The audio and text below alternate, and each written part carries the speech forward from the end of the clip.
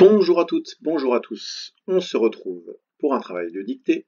Aujourd'hui, on va voir l'étape 1 et on revoit la liste 16 pour aller jusqu'à la dictée préparée. Voici Futé dans son habit de couleur et nous commençons ensemble. Les objectifs de cette séance. Revoir les six premiers mots de la liste 16 et leur nature grammaticale et faire la dictée quotidienne numéro 1. Voici Futé qui nous dit On revoit la dictée 16 cette semaine pour que tout le monde puisse rattraper. Les dictées quotidiennes ou flash vont nous faire travailler tout ce qui nous sera nécessaire pour la dictée préparée de la semaine. Prépare une ardoise ou de quoi noter, puis le cahier du jour pour la dictée quotidienne.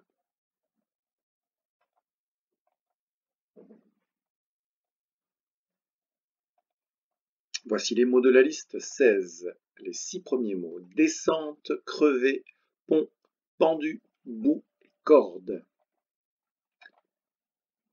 Le premier mot, on va le travailler ensemble, c'est descente. Alors descente, on remarque le D au début, pas besoin d'accent sur le E car il est suivi par deux consonnes.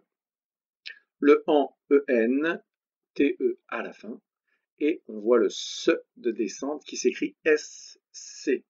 C'est peu courant, mais on le voit aussi dans le mot ascenseur par exemple. Donc on retient bien que descente, pas d'accent, SC pour faire le SE. Descente, c'est un nom féminin, on peut dire une descente ou la descente. Au pluriel, on rajoute juste un S, des descentes. Dans notre tableau des natures grammaticales, donc c'est un travail que vous avez à faire à côté de cette vidéo, sur une feuille à part, donc c'est un document que j'ai mis à côté, on va commencer à remplir, vous l'avez peut-être déjà fait seul, donc descente va dans les noms. On continue. Le mot suivant, c'est le mot crever. Crever, pas beaucoup de particularités. On voit bien le ER à la fin qui va tout de suite nous indiquer ce qu'est ce verbe. Ce verbe indique une action. Et le ER nous indique que c'est du premier groupe. Verbe du premier groupe. Alors la petite particularité, on ne va pas la voir ici dans sa forme infinitive, on va la voir ici quand il se conjugue. J'ai mis deux exemples, ils crèvent ou elles crèvent. Lorsque l'on entend crève, le est, alors on mettra un accent grave. Si on n'entend pas le est, j'ai mis deux autres exemples, nous crevions ou vous avez crevé, eh bien, ça s'écrira E. Il faut du coup faire confiance à ce que l'on entend pour savoir s'il faut mettre un accent ou pas dans ce verbe, c'est sa particularité. Ici, la version passé composé nous donne le participe passé, crevé, et, donc ça c'est classique avec les verbes du premier groupe. On peut donc ranger crevé ici dans les verbes pour la nature grammaticale. Le mot suivant, c'est pont. Pont, P-O-N-T. Très rapide. Il y a juste donc une lettre muette à la fin, le T.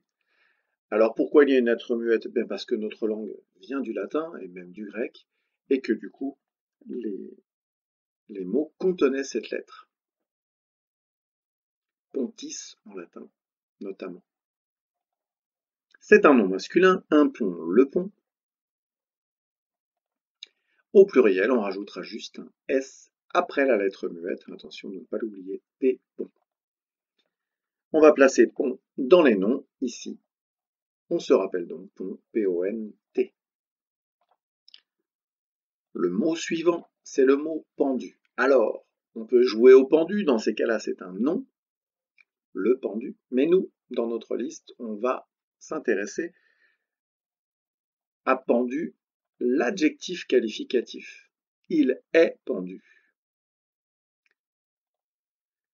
Comme c'est un adjectif, on va donc le décliner au masculin singulier pendu U, au masculin pluriel pendu US, au féminin pendu UE et au féminin pluriel pendu UES. Attention à ça, il faut donc trouver le nom avec lequel il va s'accorder cet adjectif. On va le ranger dans notre tableau et on le met, voilà, vous voyez, dans les adjectifs, il est pendu.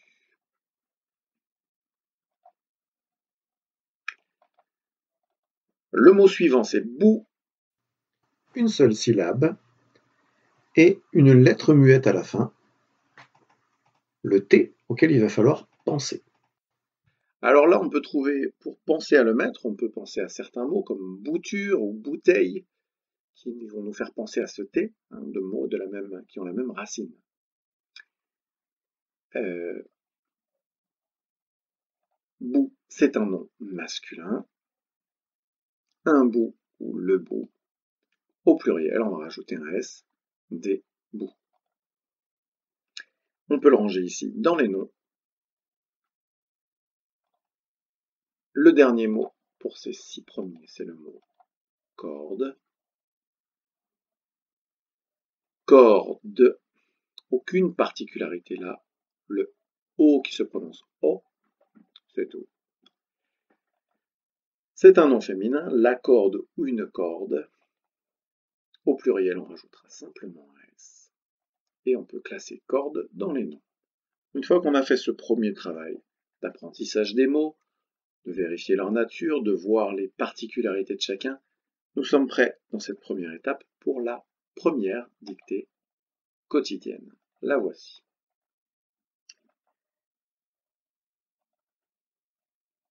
On a futé qui apparaît écrit sous la dictée. Donc c'est à ce moment-là que vous passez sur le cahier du jour. Je vous laisse quelques instants pour le prendre et je commence la dictée. Je me retrouvais. Je me retrouvais.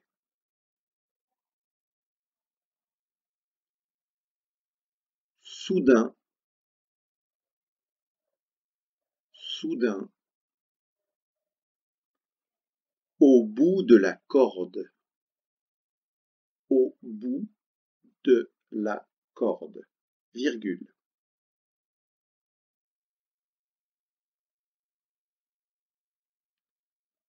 Pendu pendu au-dessus du vide. Point. À la ligne. Des gouttes d'eau gelées. Des gouttes d'eau gelées.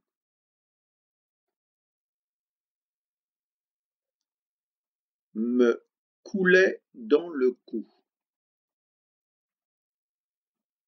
Me coulait dans le cou. Point final. Comme c'est une vidéo, si jamais vous avez raté quelque chose, vous pouvez appuyer sur pause et revenir un petit peu en arrière. Mais cette vitesse-là devrait être euh, la vitesse à laquelle vous arrivez à suivre, même si c'est un peu plus rapide qu'en classe. Alors, vous avez vu que Futé est là, qu'il est prêt à prendre la parole, évidemment. C'est H-A-M-O, c'est un petit moyen mnémotechnique pour savoir les points sur lesquels il faut fixer son attention. Le C comme conjugaison. On trouve deux verbes conjugués dans cette dictée. Je me retrouvais et me coulais dans le cou. Alors attention, on se retrouve avec un texte qui sonne au passé et qui va alterner entre le passé simple et l'imparfait.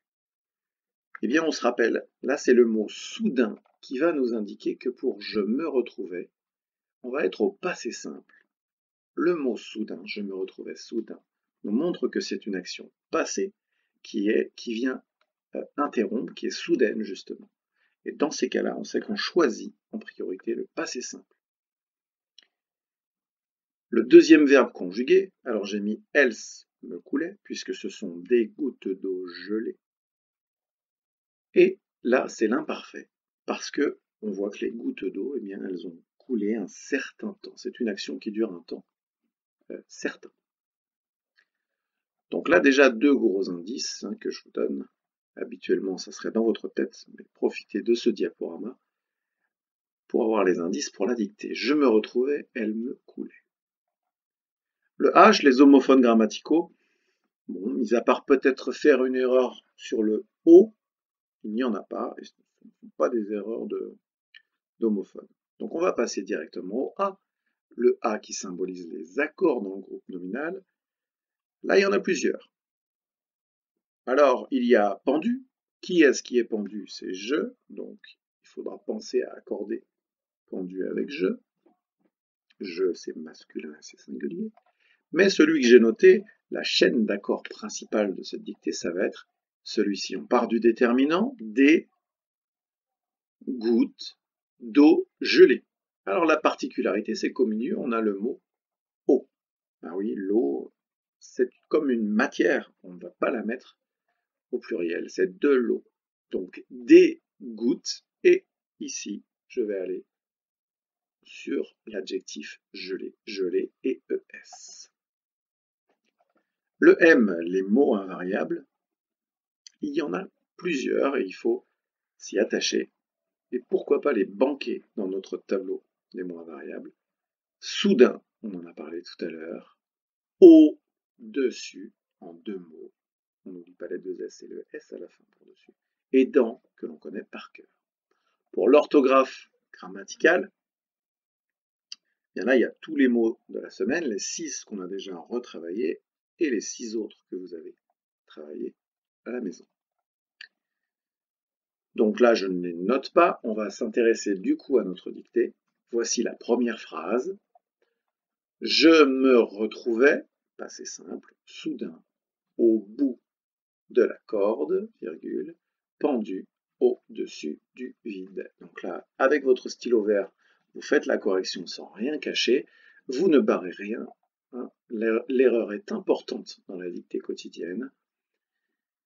Vous écrivez la correction en dessous, le mot écrit en entier, en vert, comme d'habitude. La deuxième phrase, des gouttes d'eau gelée me coulaient dans le cou. Des, la chaîne d'accord ici que l'on vient de revoir. Le verbe conjugué ici, le dans. Le cou, attention de ne pas le confondre avec les autres coups.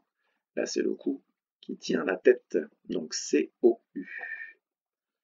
C'est fini pour cette première étape. On se retrouve très vite pour l'étape 2 de cette dictée 16. À bientôt.